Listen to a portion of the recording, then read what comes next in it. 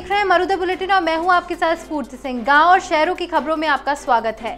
सरदार शहर तहसील क्षेत्र में बढ़ते डेंगू के प्रकोप के साथ ही जैसे जैसे अस्पताल के अंदर डेंगू के मरीजों की संख्या बढ़ती जा रही है, वैसे वैसे अस्पताल की व्यवस्थाएँ भी चरमराती हुई नज़र आ रही है। तहसील का एकमात्र सबसे बड़ा राजकीय अस्पताल में ना तो मरीजों के लिए दवा है और ना ही डेंगू मरीजों के लिए ग्लूकोज की बोतलें हैं। ऐसे में यहाँ पर आने वाले मरीजों के आज आँसू निकल आए।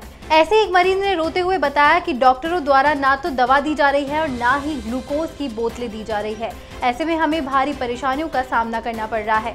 साथ ही अस्पताल में जितनी भी जांचें हैं, वे सब बाहर से करवानी पड़ रही है। इसके लिए उन्हें जांचों के 600 से 800 रुपए तक चुकाने पड़ रहे हैं।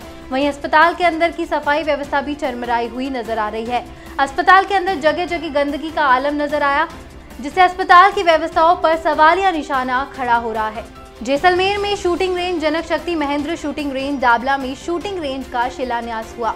चार दिन की ट्रेनिंग में इंटरनेशनल शूटर सिराज भारत के बेहतरीन स्किट चैंपियन जिन्होंने जैसलमेर के युवा और अन्य नागरिकों को शूटिंग के बारे में बताया। जैसलमेर के शहर में मात्र 10 किलोमीटर डाबला में कार्यक्रम का आयोजन हुआ। कई लोग बाहर से आए तो कई बालक और बालिकाओं ने इसमें भाग लिया और लोगों ने अपनी बेहतरीन भागीदारी निभाई। कुचामन सिटी ग्राम पंचायत जिलिया की राजकीय उच्च माध्यमिक विद्यालय में भामाशाह प्रहलाद शर्मा की ओर से सरस्वती मंदिर निर्माण का शिलान्यास कार्यक्रम आयोजित हुआ। मंत्रोच्चारण के साथ मंदिर की नींव रखी गई। इस दौरान भामाशाह प्रहलाद शर्मा ने बताया कि राजकीय उच्च माध्यमिक विद्यालय में सरस्वती मंदिर का अभाव था, जिसको लेकर मंदिर निर्माण करवाया गया है। इस अवसर पर सरपंच गिरधारी लाल बनवारी, प्रधानाचार्य मुकेश धादेज, पूरणमल धादेज, अशोक कुमार शर्मा, नंदकिशोर पुजारी, रामनिवास करवा सहित कई ग्रामीण मौजूद रहे। पद्मश्री और राष्ट्रीय मंडल खेलों में डिस्कस थ्रो में स्वर्ण पदक जीतने वाली सादुलपुर विधायक कृष्णा पूनिया किसी न किसी वजह से अक्सर चर्चाओं में बनी रहती है। इन दिनों विधायक पूनिया का एक वीडियो सोशल मीडिया पर जमकर वायरल हो रहा है।